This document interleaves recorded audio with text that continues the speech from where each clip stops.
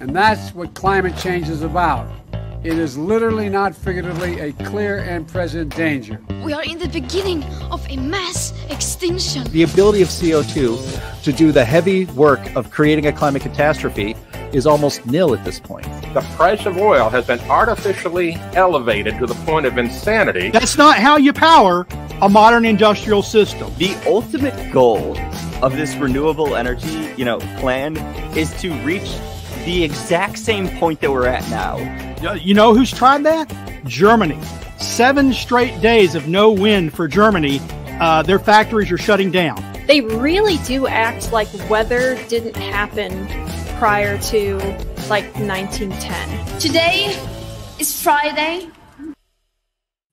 It is Friday, you little twit. We're ready to talk about climate again, and we're going to talk about it in a kind of a different way. This is a somewhat different topic podcast than what we normally cover. We're going to talk about pipelines and trains and eco-terrorism and idiot government response and other things associated with the events of this past week related to uh, derailments and disasters and so forth and so on. With us today is our usual team of experts. We have Linnea Lueken, who's with us today, who's going to talk about uh, some of the things she's discovered about uh, oil and pipelines and accidents and so forth. And of course, Dr. Sterling Burnett is with us, who's in the middle of oil rich Texas, who I'm sure has some enlightening opinions to tell us today. So, the first thing we want to start with is the big disaster this week that's been on everyone's mind. You know, there's been this uh, fantastic explosion from a derailment um, that put out all kinds of noxious chemicals in Ohio. Now, let's go to the video and you can see what happened there. And we're going to talk about that. This massive explosion that happened uh, in Ohio from a train derailment basically just decimated this town. And worse than that, vinyl chloride, which is what was in those tank cars, is now floating downstream. There's atmospheric models of the plume that's going to affect people downstream for breathing and deposition on cars, all kinds of stuff. It's just a massive disaster. And yet, the EPA and the Biden administration is treating this like, well, no big deal. Uh, it, it's just kind of it's crazy because you know some of the responses they have to minor environmental concerns you know, like climate change, which really doesn't affect you today, seem to be completely over the top compared to the response that they have for this, which is almost a non response. We just heard just a few minutes ago that Ohio applied for federal disaster relief to get this toxic spill and the wreck and everything under control and was denied by the Biden administration. What is going on? What do you yeah. guys think about this? If if the Biden administration had granted disaster relief, it would have been admitting it was a disaster, which they have. Is you know, it actually happened last week in in Ohio. I've heard another one happened outside of Detroit recently that they didn't have to blow up. Um, but uh, you know, look, rail derailments happen a lot more often, uh, and accidents happen a lot more often than people realize. Uh, I met a few, a, a, couple of guys from uh, one of the major railroads a few years ago uh, we were traveling together and we got into a conversation. I said, "Oh yeah, there are dozens across the country every every day." Uh, so they're not rare. This uh, ma- this magnitude of derailment is real rare. It didn't explode; it was controlled burned. This was a decision by the governments uh, to how to handle the waste, actually, and um, uh, so the uh, Pete Buttigieg is out on the trail um, everywhere but Ohio, everywhere, everywhere but Ohio, uh, touting their uh, record improvements in infrastructure uh, under the Biden administration and talking not about derailments and the dangers of that, but uh, in fact, he didn't even mention it until the 14th, so days after, uh, even though he had multiple speeches. Uh, but talking about equity and how in uh, in transportation infrastructure development, he notices that there aren't enough uh, uh, people of color doing the construction work. So equity was his concern while uh, toxic gases burn. It wasn't just vinyl chloride. There's about seven. Each car had sep- separate chemicals. Uh, some of them were vinyl chloride, some of them for, were uh, various other chemicals. Um, and and the EPA uh, head of the EPA, uh, you'd think he'd be right on top of this. He's the administrator of the Environmental Protection Agency. And instead, he's going around the country also talking about equity and how they're putting money to uh, bring equitable climate solutions around the country. He's an empty shirt. Uh, he uh, it, it, it, hardly it's it's not at all fair to call him Johnny on the spot because he's Johnny nowhere to be seen. Um, and this is their reaction: is is we've got to be concerned about equity. I, I suppose maybe the cleanup uh, will make sure that uh, there are uh, proportional representation of uh, different uh, racial composition of the people doing the cleanup because uh, that's what's important to them, not helping the people of Ohio. You know, pets are dying. Uh, the EPA says, "Oh, it's okay. You can go back home." Uh, now, to be clear, I don't know whether people are being made sick by this stuff. It's, it's just amazing. Deaths are due to the chemical spill. It could just be yeah. coincidence and correlation, but really, do you think so? This is incredible to me because just a couple weeks ago, we were talking about how PM 2.5 and other microparticulates from burning on a gas stove are dangerous to your health and that we need to ban them because of it. But the government, you know, safety data sheets or whatever say burn these materials if it, you know, gets outside of containment and they do. And then they just are kind of like, eh, you know, it'll be fine. I'm sure it's fine. Don't worry about don't worry about breathing in vinyl chloride particle fumes. Um, it's natural gas from your stove that's the problem. Yeah, you know, it's just amazing the response or the non-response here. Sterling pointed out that more worried about equity. And this this equity thing is just crazy. Now, first, before we get into that more, I want to talk about the downstream effects of this thing. We have a picture here from a tweet that shows what's been happening to vehicles downstream. But oh, here we go. Here's the picture, the cartoon. Well, whatever. We've got this fantastic cartoon from Gary Varvel from Creators who posted it up on um, town hall the other day. Don't worry, I'll make sure our cleanup crew doesn't have too many white guys in it. That's uh, our transportation secretary, Buttigieg. That, that can that, that, that, that, cartoon is is grossly inadequate, inaccurate because Buttigieg was nowhere near this when uh, he, he, you well, know, yeah, you have a point. You got a burning thing in the background. He was in another state. He had no desire to be near it. Yeah, it's crazy. It now here's some of the effects that have happened downstream. Um, we've got cars that are getting coated with all kinds of noxious chemicals. You know, we've got all kinds of, of stuff happening downstream, like acid rain in the past, but even worse because this is full of nasty chemicals combined with the burn as well as the chemicals themselves. And so we've got all this noxious stuff going downstream that people are going to have to breathe in, get washed off their vehicles, their homes, and so forth. It's almost as if by burning this, they created a bigger environmental disaster than if they just simply left it alone and worked on cleanup. What do you guys think? Yeah, and what what TM Willems says in the comments here, and I think that um, she's probably right, is that they decided to burn it so they could clear the tracks to get drains through, and I don't doubt that that's true. Um, they want to keep it moving. They don't want to have a major line plugged up, but man, this seems to be a huge mistake, and we don't know what the long term effects of this are going to be. You know, there's people who are saying like oh everyone in that area is going to be dying for decades we're going to have all this problem with the farm you know any kind of farming that goes on there blah blah blah. And i i hesitate to jump full on to that level um because we just don't know. Um we haven't seen something quite like this before but we we're going to have to you need a federal response for something like this because of that potential. Um, it is really frightening and especially since a lot of those tributaries and the rivers around there connect to some pretty major rivers like um, bob here is saying that the ohio flows into the mississippi i don't know how likely it is that it would go west quite that far but um, we don't know Probably and not. that's a huge problem Yeah. Yeah, We I, generally uh, have prevailing winds in that area that don't go west.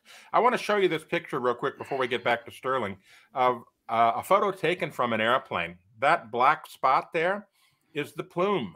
That is what actually was going up after they set the thing on fire and it exploded. It's reaching up into the stratosphere. My goodness, it's like a volcanic eruption of nasty chemicals. And yet somehow there's just like no response. Oh, we don't need an emergency declaration for Ohio or assistance. We don't need that. No, not at all. It, it- the, the government response of this is just disturbing, really, truly disturbing. Sterling? Yeah, I don't, you know, I don't know if it's more dangerous what they did than uh, than the cleanup they would have had to do. Let's face it; these chemicals would spill. They'd soak into the soil. They'd spend months digging soil uh, out of the ground, trying to get all these chemicals.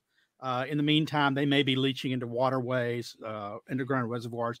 I don't know what uh, what poses a higher risk uh, where the dangers, the relative dangers might have lied. But what we do know is A, most of these chemicals are in everyday use and they aren't dangerous when used as, you know, on the box that says when used as directed, right? Uh, right. when when when uh, when vinyl chloride is is in the PVC pipes, it's not a danger to us. Uh, right when you have these to be careful you have to be careful when you when you launch into um you know kind of not fear mongering but justifiable terror over something Yeah. like this that happens it's justifiable to be afraid but we do need to think about you know exposure and dosage this isn't like chernobyl or something Yeah. um True. and people are kind of acting like it's like You- chernobyl Yeah, you uh, gotta- but you know, one of the things that they are talking about might have been on the train is benzene. And benzene can be a carcinogen in the right amounts. And there was actually recently a recall of sunscreen products because the propellant had above the dosage of benzene that they were supposed to have in it. Um, and they had a whole recall on it. Um, in reality, would that amount of benzene in a sunscreen can, you know, give you cancer over time?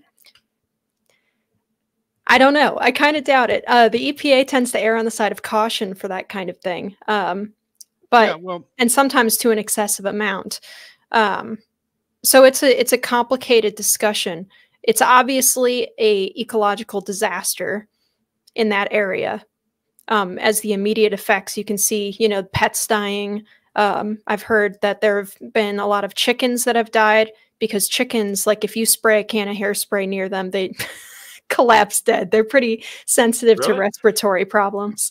I didn't Um, that. an Yeah, you can't like paint she ran on her chicken. yeah, no, no, but I had to do a bunch of research about what kind of paint I could use inside of the barn that they're in because uh, paint fumes can kill them.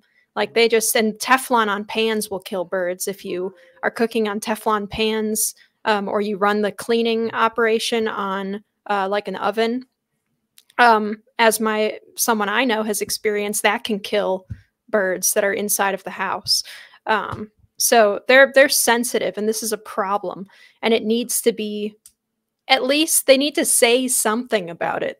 They've been so close-lipped about what exactly they're going to do to fix it, what exactly they're going to do to test and to monitor to make sure that these chemicals are not in deadly quantities in the soil and in the water.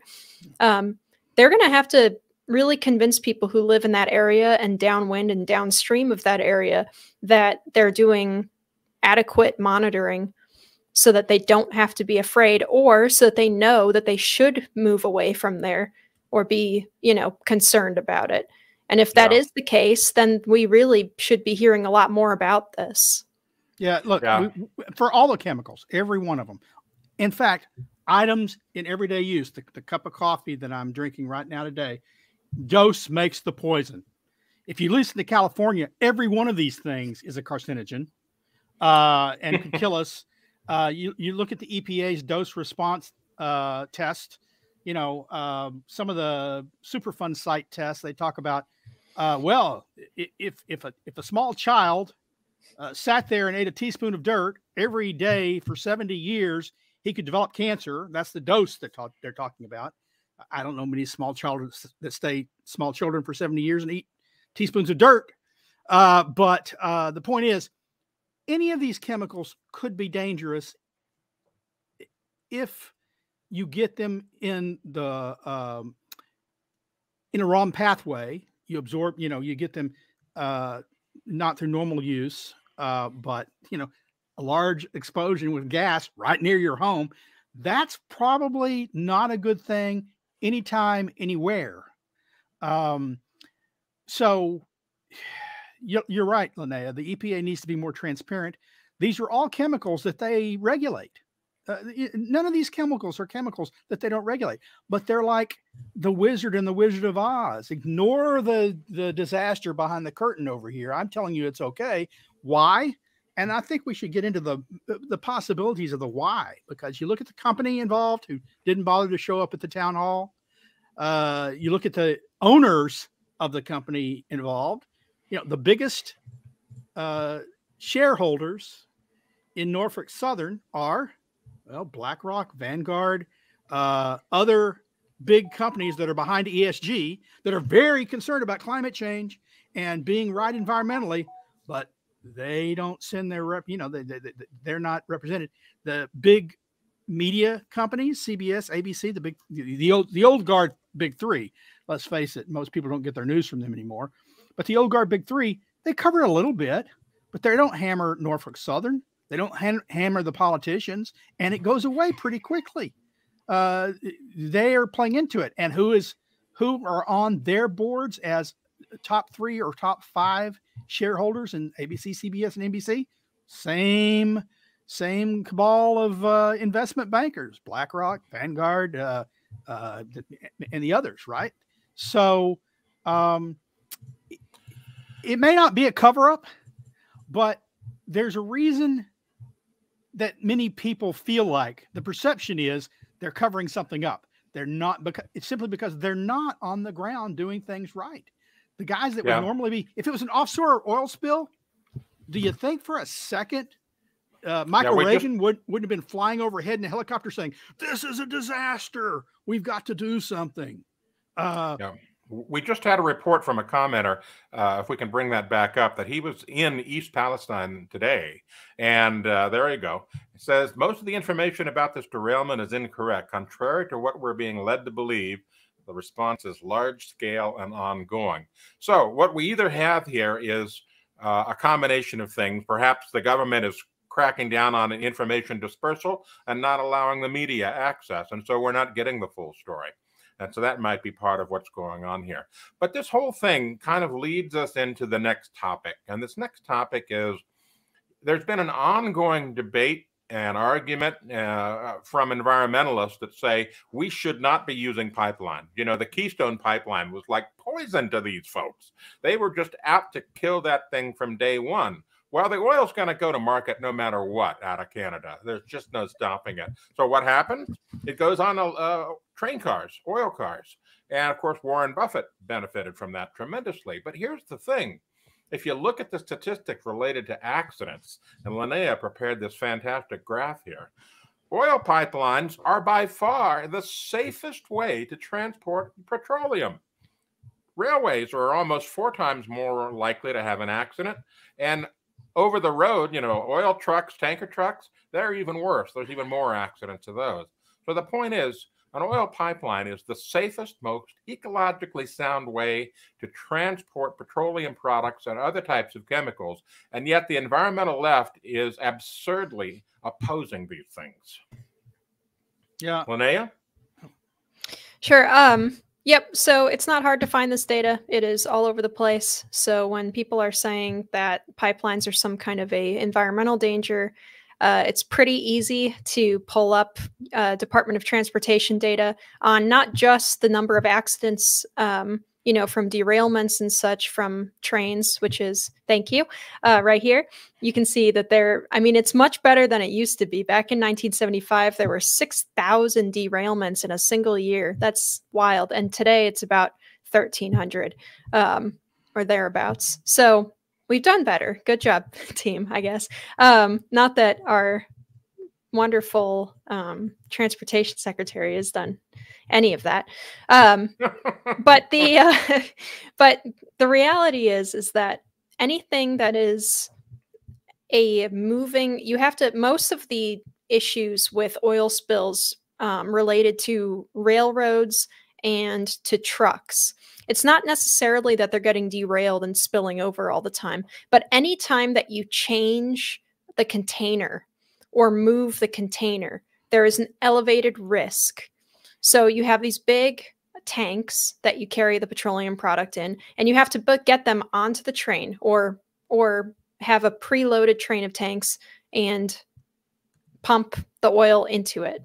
That is a hazard zone. Most of the time, when you are going to be at risk of a spill, it is going to be when you are transferring the oil from one container to another. Now, what the people who hate pipelines will say is that, oh, well, if you have a pipeline, um, you know, if a pipeline is shipping, you know, what was it going to be with uh, Keystone? It was going to be something like 83,000, 830,000 barrels a day or something like that. Um, somewhere around there, I think. Um, they'll say, well, if a hole breaks in the pipeline, then you're dumping, you know, tens of thousands of barrels of oil into the landscape instead of however much a train car can hold. Well, that is not how pipelines work, and that's usually not what happens. Um, pipelines have um, safety set safety features that allow them to be shut in around the area of the leak. You can detect a leak relatively quickly in a modern pipeline based on the pressure differential between different sensors along the pipeline. Um, thank you, Abel. Uh, and it is. See, I was pretty close. That's pretty good. Um, pretty good for off the top of my head. Um, they. It is. It is much more rare for any kind of a spill to happen from a pipeline as a truck or a train. And environmentalists like to target oil trains and coal trains and stuff too. There's all these stories about environmentalists pouring concrete over the tracks to derail trains. And when this Ohio thing first happened, I was like, oh no, it's going to be one of those. So I'm happy that it wasn't one of those. Um, one of those occasions, but it that happens extremely frequently, like shockingly so. Uh, Linnea could have added to her graphic um, because we know that under Biden, our imports of oil have gone way up. Uh, they had gone down under Trump. Uh, we get those through tankers, and tankers are another source of oil spills, and particularly, but not solely, at the point of uh, as as she said, uh, transition when you're popping it off the tanker or or topping the tanker up, and uh, they produce much more oil spills, you know, you know, per volume uh, than pipelines. Pipelines are far and away the safest way of shipping oil and natural gas and, and other chemicals. That's there's just there's no uh, there's no data whatsoever that refutes that. Yep. Uh, and the thing and, is, it, it's motion. It, it's all motion and gravity based, as Linnea pointed out. You know, you put stuff up in an elevated tank car. Well, gravity is going to eventually win somewhere. You know, we end up with uh, a situation where you know the tank car falls over because something's wrong with the tracks. Well, you know, the pipeline is not in motion itself. The transport mechanism is not in motion like it is with rail cars or mm-hmm. trucks or whatever. What we've got is the oil moving through the transport mechanism as opposed to the transport mechanism moving. And that's the huge difference. You know, mm-hmm. when stuff's in motion, it has a tendency to, to you know, to coin a phrase, run off the rails. It does. And mm-hmm. uh, that's the big problem. And it, it, environmentalists can't seem to get that through their heads. But I'm not convinced they don't get it through their heads. I think that they just don't care. That that that their goal is to shut down industrial civilization. They want fewer people. They want uh, fewer technologies. They want to end the use of fossil fuels. And so, why, you know, they're not going to tout the safest. They're going to put it on the least safe so that when accidents happen, say they can then say, "Oh, see, there's no what safe way of using oil and gas." Um, this is intentional on their part. This is not ignorance or stupidity. Um, yeah, the environmentalists are so um, their egos are so large that they believe that their way is the only way, and so they're willing to basically uh, you know, trample on the rights of everyone else basically to get their way. They don't care. And as we saw in those pictures that Andy had up before, eco-terrorism is rampant on all kinds of different aspects of society. You know, I in my own town of Chico, California, where I used to live, we had an environmentalist try to set an auto dealership on fire. A new auto dealership was being built, and they tried to set it on fire because autos are bad. That's the kind of dim-witted thinking these folks seem to have. Here's some pictures showing exactly what Sterling was talking about. These folks don't want a modern industrial society. They want to go back to nature. They want everybody to live in mud huts, you know, except for them. They live in opulence, you know, mm-hmm. people like Al Gore and uh, Leonardo DiCaprio and John Kerry and and Saint Greta all seem to have opulent lifestyles, but tell us we should be doing things like eating bugs, you know, instead of steak. Yeah. Um, makes Earth, me wonder: Earth, are, are bugs sensitive to hairspray? Earth First's old motto was back to the Pleistocene. That's you know that's really what a lot of their thinking is. You know that's why they they promote population control, and you know in their in their honest moments they'll tell you population is the real problem. We've got too many people. Uh, some of them have said as as few as 200 million people is the ideal human population on Earth. They call us, uh, you know, they call humans cancers, uh, exempting themselves, of course. They're the good cells attacking the cancer. Uh, they call us uh, parasites. Basically, they uh, they ignore technologies that help the environment and promote technologies that um, destroy the environment because they what they really want is people to say, "Oh, well, we got to protect the environment, so we got to get rid of all, all these technologies." It's not it's not a matter of continuing to live the way we we we live with new technologies that are cleaner. You know, it's not that they think solar and wind can really replace coal and natural gas and and nuclear. They want the system to fail. So we live with less. We we live like my relatives in Venezuela with rationed electricity. Um, it, that's that's what they're really hoping for because that will make it harder and harder, make it harder to live and encourage people not to have children because what we've really got to do, according to them, is uh, reduce the human population and reduce consumption. Right. And the um, yeah, one of the things I, I wanted to point out too, because Andy mentioned this before, is that the goal of the green technology or the renewables technology people is just to get us to the point where we already are with matching consumption to uh, production of electricity. But Sterling is right. That's not what they're trying to do. The plan, and when and it's disturbing to read because a lot of people just shrug it off. Um, a lot of engineers are totally okay with this. They say, "Well, yeah, but the point is, is that we consume less." Well, what does that mean? You know, there are there are hundreds of millions of people that don't have reliable access to electricity, medical care, um, uh, safe and healthy drinking water or the ability to use some kind of a you know chemical or mechanical filtration to make enough drinking water that's safe for their communities.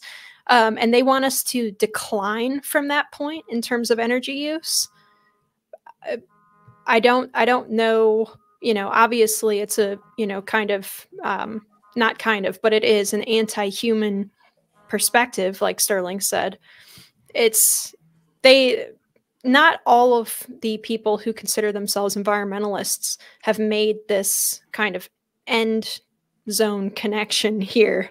Um, and that's part of what it's our job to point out is that what you are asking for is misery globally, um, with the exception of a select elite. Right. Let's yeah. Oh, let's see what's he doing going here. So one of the one of the things that came out of this derailment in uh, in Ohio is that they're running for cover now. The ESG folks that you know are promoting this ESG nonsense now. Oh gosh, one of our companies went kablooey, you know, and that's not good for ESG. So let's run for cover. Uh, it, it's so hypocritical. Um, you know, they just as long as they're on point with the message, that seems to be all they care about. At least that's my opinion. And the message is, is that everybody has to conform, everybody has to use less, everybody has to be putting the benefit of climate and the environment ahead of themselves. And it's just just crazy. Yeah, we can understand why the um, why the private companies that are involved in this they're running for cover, right? it's it's not a PR win for them, uh, and and stock prices take a hit, so we can understand that, but it doesn't make it right. Uh, it certainly doesn't. Uh, uh it doesn't absolve them from uh, the policies that they promote that lead to disasters like this and the cover-ups that lead to inadequate treatment. Now, one gentleman keeps saying, "Well, they're on the ground. They're on the ground doing stuff," and they are, but they're also telling people they can go back home. They're also telling people move back in. It's all safe, even though we've got dozens of people spending lots of money cleaning up. Well, maybe it's not all safe yet. You're not you, you haven't given them the all clear. Um, and you know, private companies have their incentives, but government is supposed to look. The EPA was created not just to prevent pollution, but to uh, clean up pollution, to make things safer. And I don't agree. Uh, of, look, I'm I'm a free marketeer. I'd like to get rid of the EPA as anything but an informational agency now and let the states handle their things. But this is interstate commerce.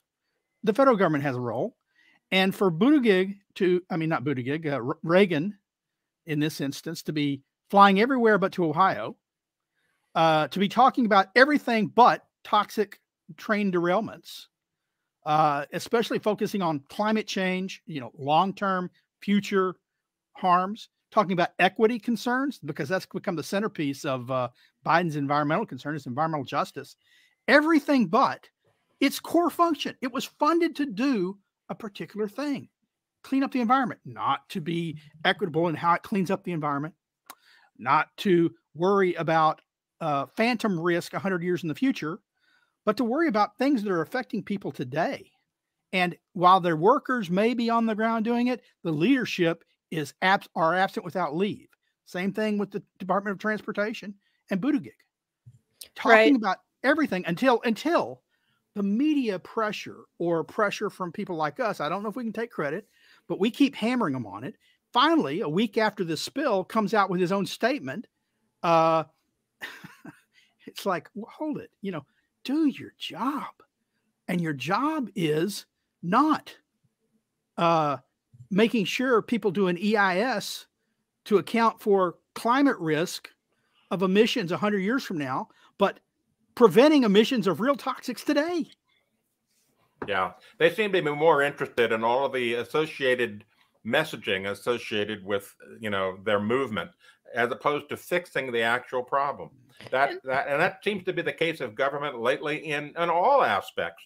They're all more about the narrative and more about the appearances, more about the messaging, more about the optics than they are about solving problems. And it's it that's a disaster in and by itself.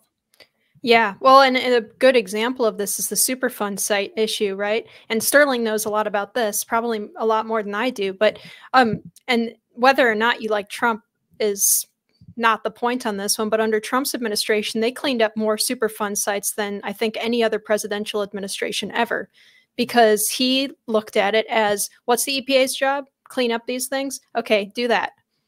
Your job is yeah. to do that. That's and then they exactly went right. and they did it. and they did they concept. didn't waste all of their time, you know, doing all these like cutesy press conferences where they talk about, you know, turtle straws and stuff. Although that wasn't uh they're not wasting all the time in the world doing that. They they might have a select few people that go to the forefront and you know do their little pr stories and stuff but in the background they had a bunch of people actively working to clean up these toxic and dangerous uh, sites including old landfills that needed their um, like under layerment stuff repaired and all that good all that good stuff. Um, and they they were just getting it done, just like ticking them off the list. And then we get They're into the. Biden administration, who is supposedly the environmental, the climate people, blah, blah, blah. And that Superfund rate drops again. They do mm. not care about the environment. Yeah, they care about whether or not their message is going to advance their cause, their power, and their control. No, they they don't they they they don't care about doing their core functions because their core functions, for the most part, not entirely, but look, the air is much cleaner, the water is much cleaner, toxic chemical releases are much lower. They've actually, uh, with the help of state agencies and private industry uh, um, technological developments, innovation, they've actually succeeded in doing the things they were constructed to do. So they're constantly seeking new functions, new justifications for ever greater budgets and ever more employees. So they've got to go after less and less direct risks, more phantom risk, more, you know, things in the future, Right. things that might, we can imagine through computer modeling, mind you, that this might happen sometime. So that's what Well, we've got to regulate. Or just basically telling people day to day how what's best for them when they use energy in appliances. So, look, does anyone really believe the founders or even the EPA or the Department of Energy when they were founded? The, the people that founded these things said, what we really need to do is to tell people how much water they use in their toilet. what we really what we really need to do is to tell people how much energy their air conditioner should use. And if they don't, and because they're too stupid to know what's best for them, we will regulate the appliances that work for them that are cheapest out of existence and tell them, well, in the long run, you're saving money. Well, yeah, but I don't have an air conditioner today. In the long run, if I could afford it, I would save money, but I'll have to live without an air, air conditioner uh, for quite a while to save money for that expensive air conditioner that you've now because I can't get the cheaper ones. Yeah. It's a vicious cycle. The more regulation they put onto things like home appliances, the more expensive they get, and the more expensive electricity becomes, you know, because of the greenness of it. You know, there's a parallel to all of this. Let's not touch this thing because cleaning up stuff is yucky. We don't want to do that. Let's computer model it and figure out what the future will be. That's the same kind of insanity that goes on with the weather stations around the world that I have been looking at for years. You know, they don't want to go out and actually fix these weather stations, the ones that are in the middle of freaking parking lots. No, we're going to come up with a statistical adjustment to the data so that we can filter that out. Well, that's absolute BS. With a 96% corruption rate, which is what I discovered in my study this last summer of weather stations around the United States, you can't filter that out. That is the majority of the data, and the majority of the data is overheated, and yet they say they can filter it out. Well, it's absolute hogwash. But you know what? Come to ICC 15 coming up next week, and you'll see something that we're going to do about that. Just watch. That's a really good plug, Anthony. that was Thank you.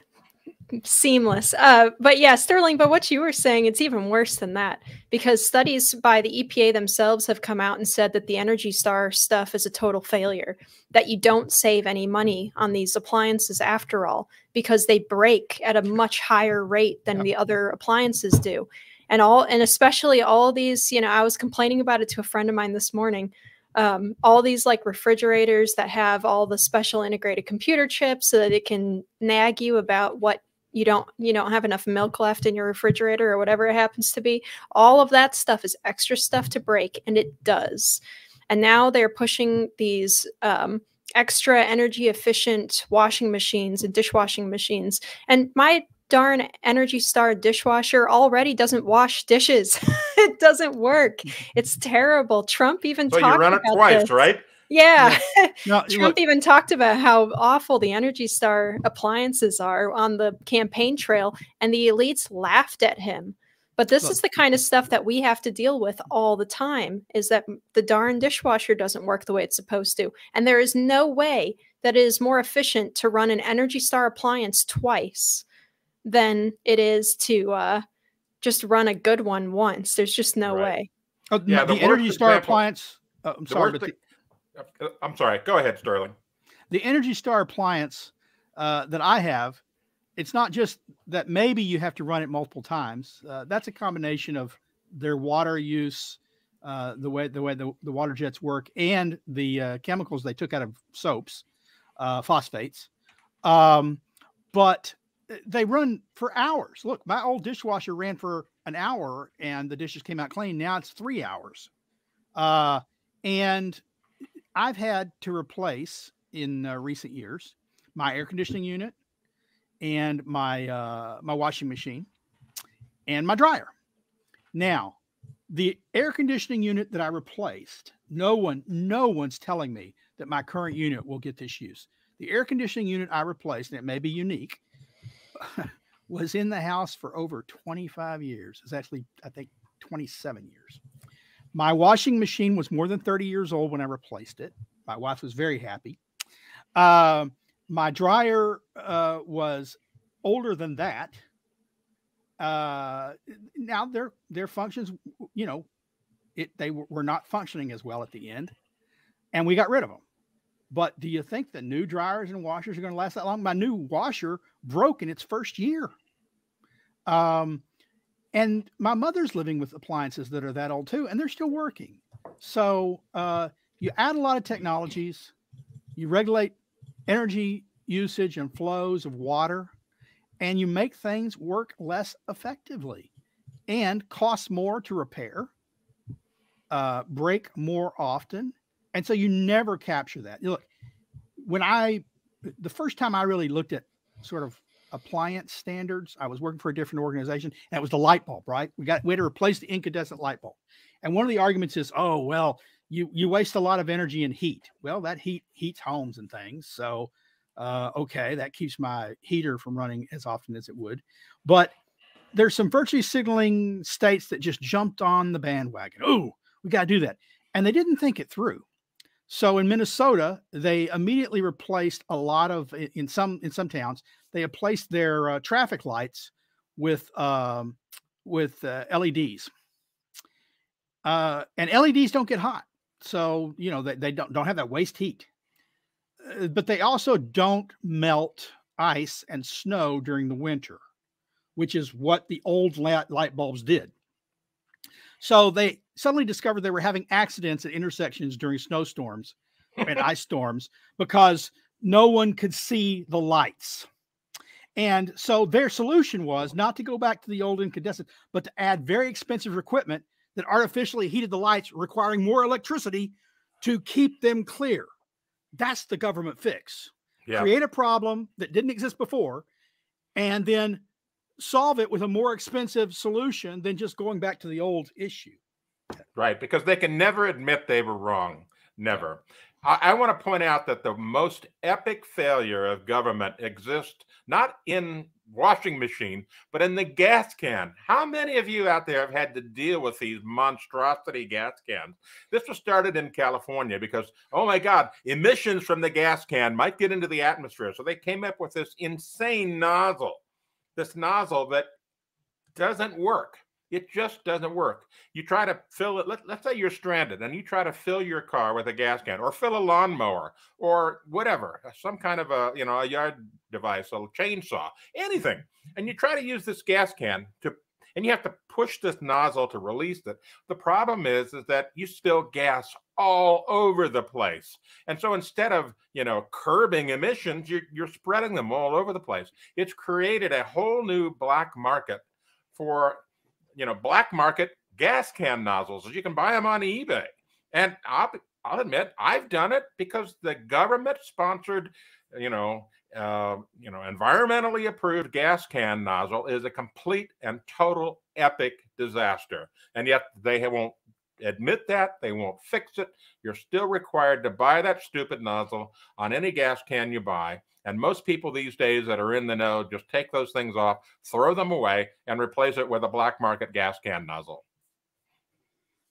Well, the, just, you know, the same thing happened with toilets decades ago when they first re- regulated toilets. What people started doing was going to old trailer homes and ripping out the old plumbing, and when they replaced their toilet, uh, replaced it with that uh, rather than the low flow. The low flow, so it's saving you money on water toilets. Well, unless you're flushing multiple times and it breaks and you have to replace parts, so they they they would go into old trailers uh, you know, uh, that that people had abandoned or were trashing or something, uh, you know, or or they bought for a couple of thousand dollars but then they ripped out all the toilets from the trailer and installed high flow five gallon tank toilets in their home uh, because they actually wanted There you toilets that go. worked. Get a really Imagine good that. expensive plunger and keep it close by.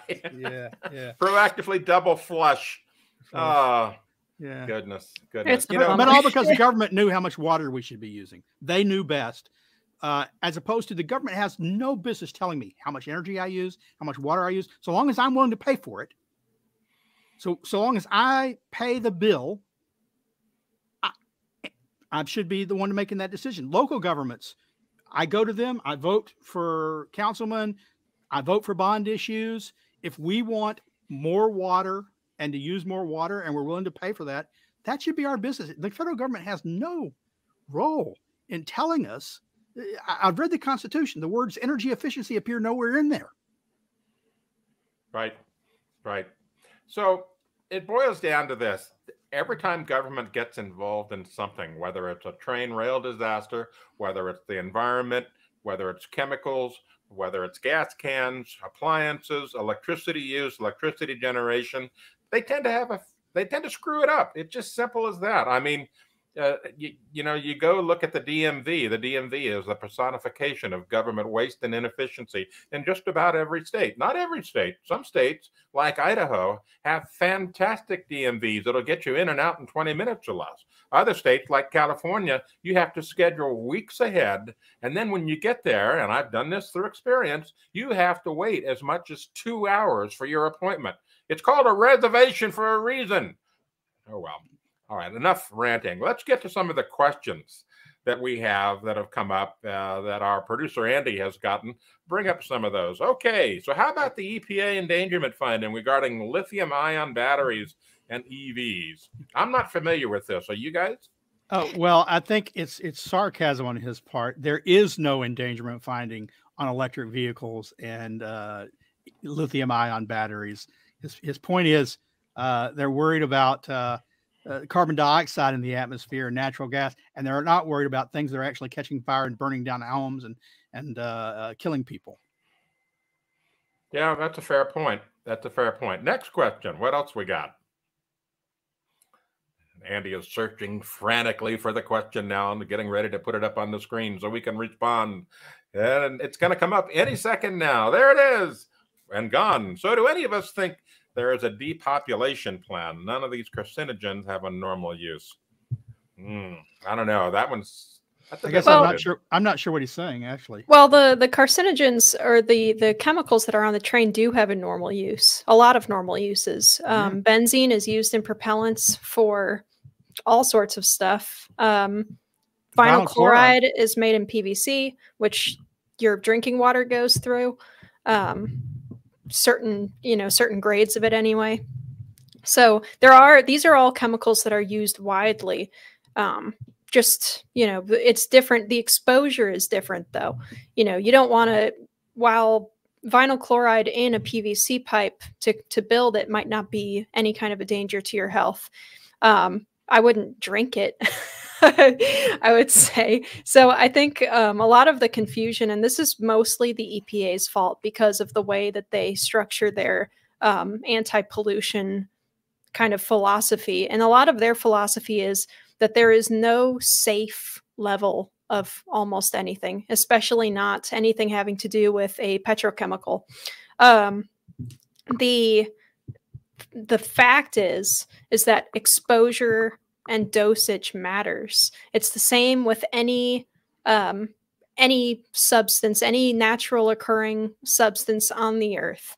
You know, um, a small amount of I don't know, eating an apple isn't going to kill you, but the arsenic in the seeds could if you ate enough of them. Uh, that would be hard to do, but but the uh, the point stands. So you have to be careful about that. At one time, at, at one time, uh, for a very short period of time, I drank, uh, and this was counted by people because I was getting migraines on the weekends when I wasn't doing it regularly enough. I was drinking 17 cups of coffee a day, uh, two in the morning, uh, about uh, 13 at work, and then two at night about 11 o'clock before I went to bed. Now, had I drank that much coffee every day from the time I was seven till today, it's quite likely some of the chemicals in coffee could have caused cancer. Every, almost every chemical tested at high enough doses over long enough periods of time cause some kind of cell deformity that can become cancer. Um, water, God, water's vital to life. Uh, but if you don't take it in right, it, it kills you. If you breathe it rather than drink it, and if you drink too much too fast, it kills you. Uh, anything can be dangerous, but these chemicals, like like Linnea said, look, go by any new uh, housing development being erected, and you'll see PVC pipes sticking out of the ground. Because what we don't do typically, we got rid of lead pipes, thank God for that. Uh, we don't use copper pipes, very expensive, better uses for copper. PVC is the replacement and that's what the, that that that liquid that spilled the majority of it it was it's pvc it was going to a plant to make plastics that are vital to our everyday life uh, so i don't think that they're trying to i know of nobody who has a plan to depopulate the earth i know a lot of people calling for depopulation of the earth now maybe there's a cabal out there that actually has a plan uh, i'm not in all the backroom meetings at the WEF or something like that. Uh, but uh, um, I'm not aware of one. And I certainly don't think the way that they would go about doing it is through small doses from plastics. Um, There'd be a lot more efficient ways. But then again, Sterling, the government is not very efficient.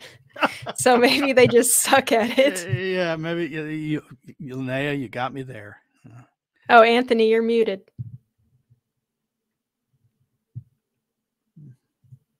Whoop, what's going on there? I don't know. He's talking. Anthony, you're muted. His lips were moving. Somehow my mic, somehow my mic keeps getting auto muted. I don't know. Some technology failure. It could be, it, it could be something else. I don't know. But uh, so here's the question: Why did Biden deny? And it's gone. There we go. Why did Biden deny federal disaster assistance for that actual disaster? There seems to be plenty of cash for climate justice and other things. What do you guys think?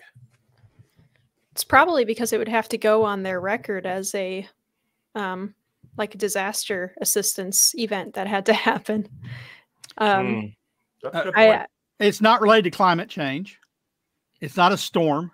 You know, it's not it, it may be because it's just not widespread enough in the sense of it doesn't go across multiple counties, though of course with the prevailing winds and the drifting water, maybe it will over time. Who knows? But um, I think it's just not there. You know, if it's climate, if it's weather, if it's a weather issue, then we, we all the disaster relief you want. If it's something that they can't tie to what they're concerned about, which is climate change and ESG, then it ain't getting the disaster relief call. Yep. Yeah, and I think point. that's I think that's about the most charitable position that you could have on why they don't care. Yep. All right. Well, I think we've pretty well covered rail. Well, everything. Let's see. We've had in this show. We had a picture from a plane. We've had pictures of trains. We didn't get a picture of an automobile though, so we're not quite there with planes, trains, and automobiles. But we did talk about all the stuff that powers them and the the way that they want to uh, manage and suppress them. But before we leave, I want to talk about what's coming up next week. If you have not gotten yourself set up to go to this conference yet, please do so. Visit climateconference.heartland.org and talk about, or not talk about, but uh, sign up and come visit us in Orlando next week, February 23rd through the 25th for our climate conference, the true crisis, climate change or climate policy. Well, we've always been talking about climate change. Yes, it happened, but no, it's not a crisis. So it seems to me like climate policy from the government is actually worse than climate change itself. We'll talk about that and many other topics, plus I have a few surprises. Please come to this conference. And of course, next week we will be broadcasting live from that conference on our YouTube channel. Be sure to tune in for that. We'll provide links to uh, get you into the live session. And of course, they'll be available after the conference with you where you can look at them at leisure. So that kind of wraps up. But what our, we uh, won't be doing, Anthony, what we won't be doing, just to make clear for them, is we'll be broadcasting live from the conference, but we won't have a climate change roundtable next week. That's right. I was just going to get to that. Thank Sorry. you for pointing that out.